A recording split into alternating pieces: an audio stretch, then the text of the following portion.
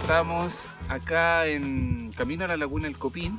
Eh, la idea es conocer la laguna porque nos han comentado de que tiene una belleza bastante especial.